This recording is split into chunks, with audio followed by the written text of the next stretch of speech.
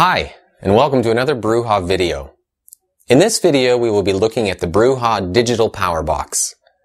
The Digital Power Box is a reliable, precise, safe, portable, and flexible means of controlling 230 volt power in your brewing system. It is reliable because it is made with top quality parts and there are no Bluetooth or internet connectivity issues, no programming or display problems. You just plug it in and it is immediately ready to work every time. And when used with brewing software such as the Beersmith program, you are able to replicate your favorite brews time after time after time. It is precise because there won't be any program crashes mid-brew, and it allows you to know exactly how much power is going into your vessel. By turning this dial that is at the front of the box, the amount of power going to the heating element can be specified precisely.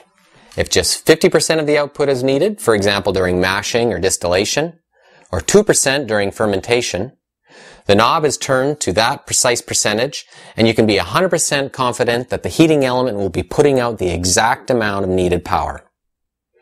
It is safe, and it is third-party certified safety by one of the world's largest and most respected safety evaluation and testing companies. Let's look briefly at its design and functionality. It is housed in this rugged and lightweight aluminum body. It has rubber feet on the bottom, so it is non-marking and won't slide on a smooth countertop. And it also has two pivoting feet here at the front that can be used to elevate the box for ease of use. The main cable is designated SOOW, which is an industrial service cable that has 600 volt rating this kind of cable is more expensive, but it has excellent resistance to oils, acids, chemicals, water, ozone, extreme temperatures, cuts, tears, abrasions, and sunlight. Basically any and everything it might encounter in your basement, garage, restaurant, or your brewery. It is also flame retardant, has an indoor and outdoor rating, and it is highly flexible so it is easy to move around. The high quality Hubbell cord grips are here at the back are made of aluminum, so they are attractive and durable. And the GFI 115 volt switch receptacles that are available in the North American model provide convenient power for small 115 volt appliances such as a pump. Inside the power box is a contactor. The contactor is like a gate that opens and closes to safely control the flow of 230 volt power into the power box. With 230 volt power, if you were to unplug it from a receptacle each time you needed to turn the power off, it would likely arc in the receptacle, which could damage the receptacle or even start a fire. What determines whether the contactor or gate is opened or closed is a second smaller cord, which provides a signal to open or close the contactor. When this cord has power, the power could come directly from a wall receptacle or via the ETC during mashing, it closes the contactor and lets 230 volt power through to the element. When this line doesn't have power, and therefore there is no signal, the contactor is open, and the main power cannot get through to the element or into the box. You will have noticed that while the 115 volt receptacles have a GFI built into them, the main 230 volt line does not. It is recommended that brewers have a GFI installed prior to the power box, as a GFI responds much quicker to electrical irregularities than a breaker or fuse will, ensuring that you are even better protected in the event of a short.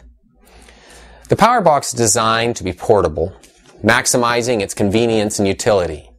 It is extremely easy to set up and take down, which is especially very attractive when space must be shared for other purposes. The power box is also designed to be flexible, temperature control, for which uh, Brewha can be achieved with Brewha parts that can be achieved through the ETC, it has been intentionally kept external to the main power control vise, which provides the brewer with the greatest amount of convenience, cost savings, and utility. Most brew systems use a built-in PID or similar type temperature sensor that is tied to the main 230 volt control apparatus. But this is not always convenient, especially when using a multi-purpose area or when needing to control multiple brewing systems at the same time. For example, when one or two or more vessels, um, sorry, when one has two or more vessels and is brewing and fermenting at the same time. By keeping the temperature control external to the power box, the brewer is able to continue to maintain precise control of temperature regulation throughout fermentation without needing access to 230 volt power that might be being used elsewhere. The fermenter can be moved away from the main 230 volt power source and still have the temperature monitored and controlled by the ETC. Or in the situation where multiple fermenters are needed, only one power box is necessary for brewing, as is the case with the medium BIAC, and much less costly ETCs can be purchased to monitor the additional tanks. So that is a brief overview of the Brewha Digital Power Box. We have designed it with the brewer in mind to make it reliable, precise, safe, portable, and most of all, a pleasure to use. Thank you for watching.